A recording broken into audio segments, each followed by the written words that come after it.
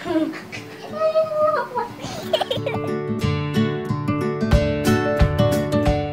back sa aming channel. For today's video is another challenge.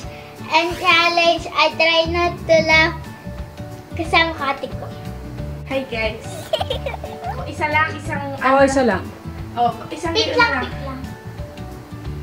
Okay. Oh, oh, oh, oh, oh, oh. At tanong ko sa'yo. Orok ka dito.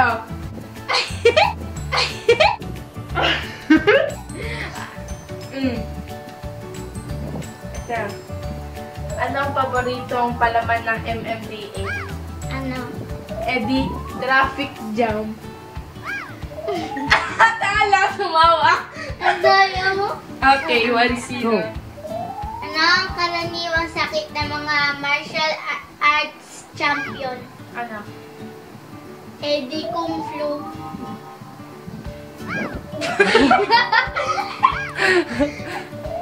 Ano ang gamot sa mga sugat ng balat ng baboy?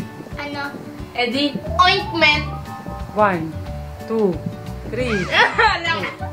Ano ang mang mangyayari kapag nahulog mo ang isang pulang sombrero sa asul na dagat?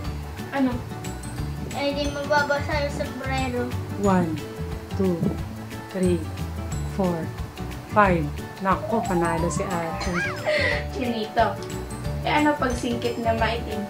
Ano? Pinrini. Pinito. One, two, three, four, five. Ah, five. Pasok na. Okay.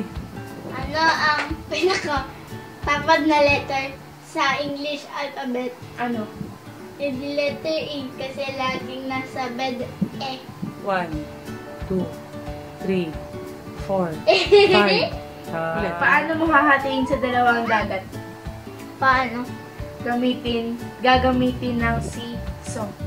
One, two, three, four, five. Ah, Ang marunong maglaro ng billiards. Ano? Eh di, cucumber.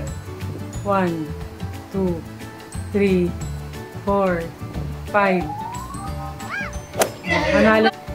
Panalo. Panalo Panalo ako! Panalo ako!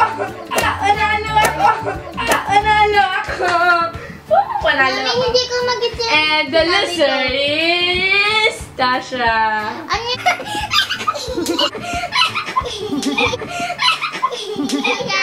Thanks Goodbye. for watching. Goodbye.